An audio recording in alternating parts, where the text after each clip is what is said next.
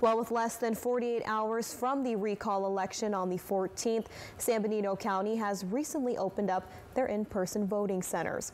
Our very own Stephanie Aceves has more with the county registrar of voters and how that process is done. Good evening, Stephanie. Taryn, there were a few people I saw stop by and either drop off their mail in ballot or, or vote in person. But county workers tell me that they expect this to be a busy night here at this specific location. San Benito County opened four locations for in person voting on Saturday to allow people the opportunity to vote.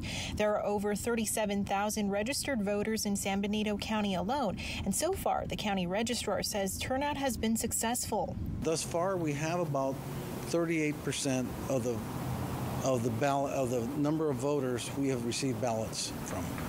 People would hold on to their vote by mail ballots till the last day, and they'd show up on election day and, and bring them in. So that's changing a little bit. We're getting them in earlier.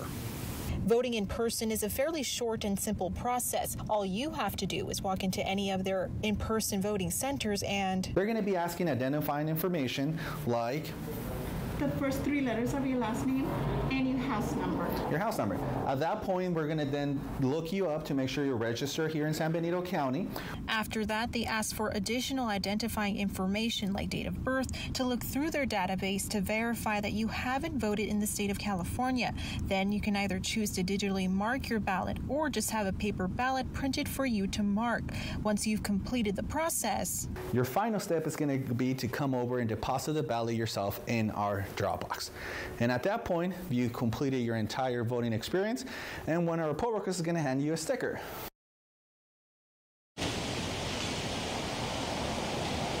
For those that choose to drop off their mail-in ballot, those are available at all four, four voting centers with poll workers verifying signatures and that you voted.